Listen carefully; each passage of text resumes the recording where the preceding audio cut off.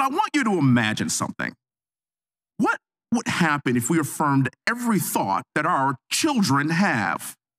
I'd like to show you a food pyramid. Now, I know what you're thinking. This is not the FDA's approved food pyramid, although many of you probably wish it was.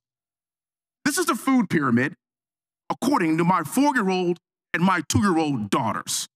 By the way, in the Hunt House, we don't do Ben and Jerry's, it's Blue Bell only. If my children had their way, they would have ice cream for breakfast, lunch, and dinner, and for every single meal in between. Oh, the wisdom of children.